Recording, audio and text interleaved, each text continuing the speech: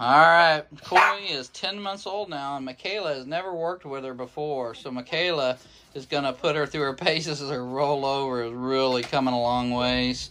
And she just came into my office and she said, Can I pet your dog? And I'm like, Sure.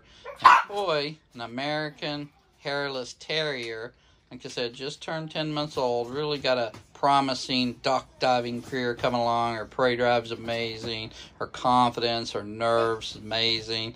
And she's learned a lot of behaviors sit up and beg, and roll over, and bark on command. And she's just a super confident dog that'll hop up in my big old SUV and get in her seat and ride. Very clean natured dog. So I'm really, really, really happy with product that Rip It Up Kennels has produced. Amazing American Hairless Terrier. Great attitude. Just super sweet and fun. I've taken her and traveled with her quite a bit.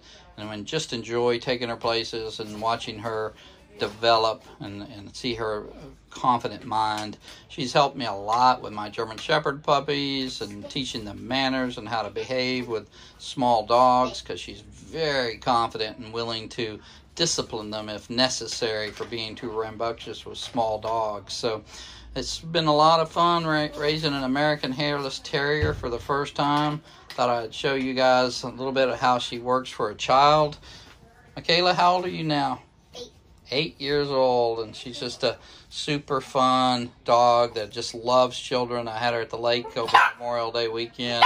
Mobs and mobs of children were just coming up over the top of her and petting her and really enjoying her. And she did a lot of tricks for all those kids, and that was just so much fun to see how much uh, joy she gives to people that she's around. So that's Koi showing off her moves for Michaela here at Protection Dog Sales. We love showing off what we can do with these super dogs. Good stuff.